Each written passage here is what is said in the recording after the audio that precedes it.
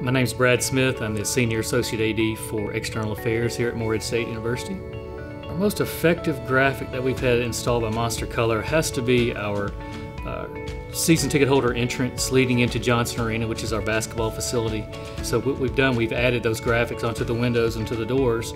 As you walk in through those doors, um, at our fueling station, which, are, which, is our new nutrition area, um, we've also, instead of you walking in seeing uh, cinder block walls, uh, you now see these nice vinyl graphics which accentuates our brand.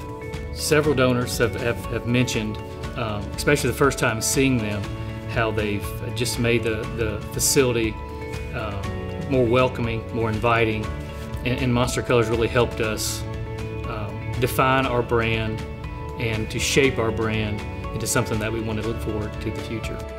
Adding those images and those that level of expertise really helps us continue to um, expand our brand in the area, but also um, help us recruit the type of student athletes that we want to come to Morehead State University. I think Monster Color is one of those uh, one of those companies that can really help take your business, take your facility to the next level.